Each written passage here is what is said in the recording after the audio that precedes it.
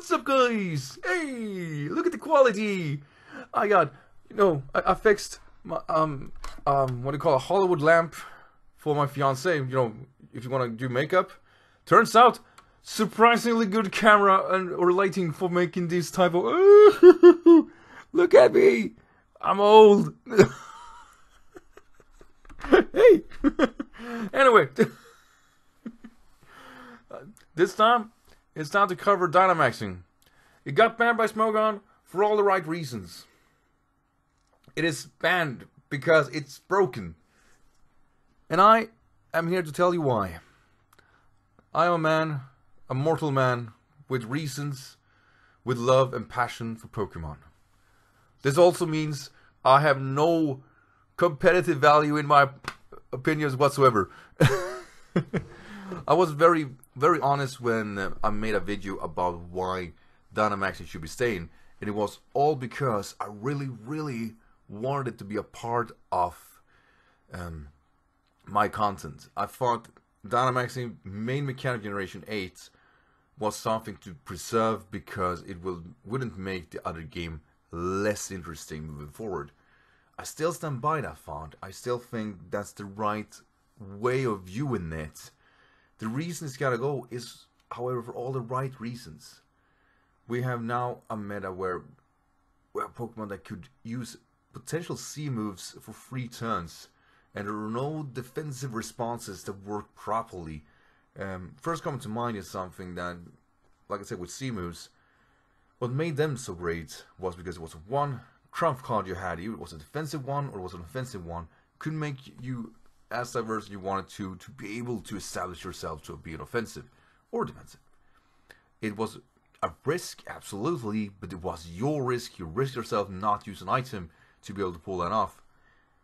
Dynamaxing is not that. Dynamaxing is Mega Rayquaza. It is getting some with steroids and just say, go nuts, boy!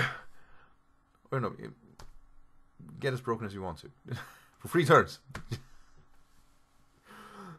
but yeah, basically, yeah, Dynamaxing your double your HP, it's that's a big deal because it means in theory you can set up freely, and once you Dynamax, you still get a lot of HP back. Uh, a lot of like the most viable Dynamax Pokemon, such as Mega for example, that could very easily be taken out by a close combat now could very likely survive that and um, set up retaliate. Gyarados, a Pokemon that absolutely dies of Thunderbolt from Rotom-Wash.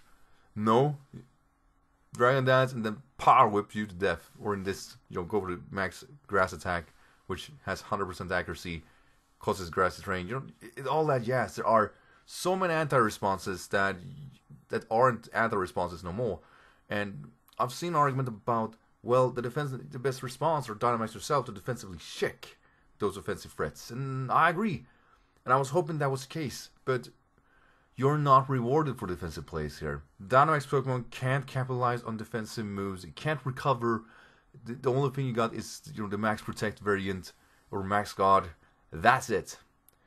That means that you're waiting out what is that one, two turns of their Dynamax, but you don't get to use your own. You, you see the problem here?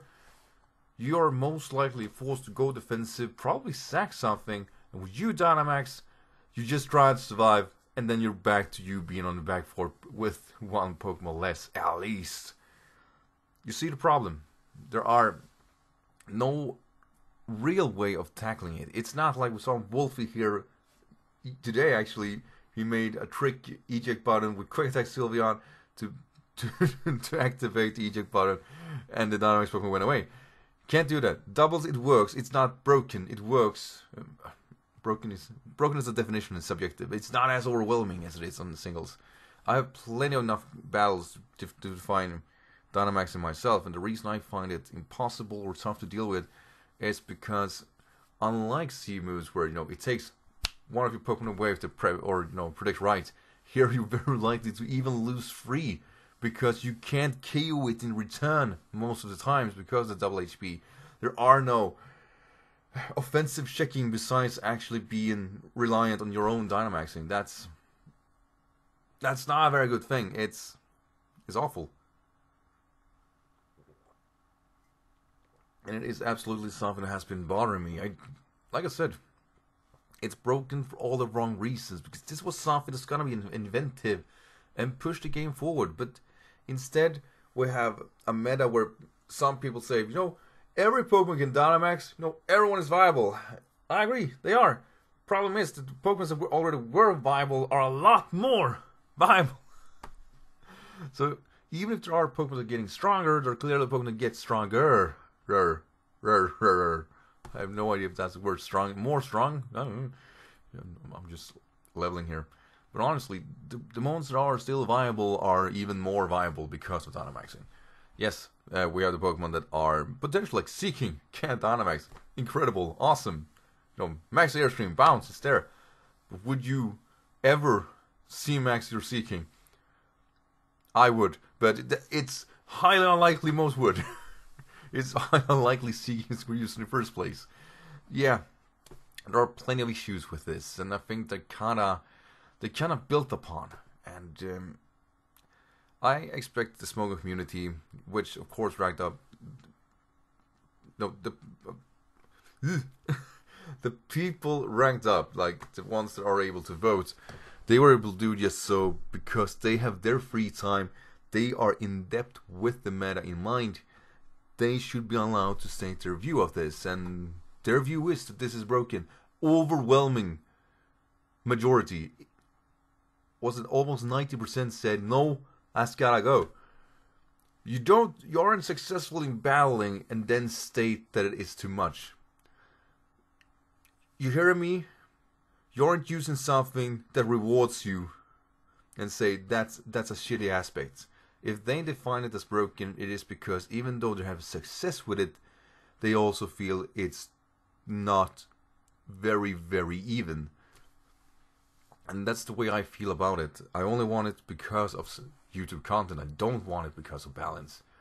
And moving forward with my own channel, I'll be honest and say that there are going to be Smogon battles and they're going to be battled with Dynamaxing. And I think we're gonna somewhere down the line uh, spawn a balance with that in mind.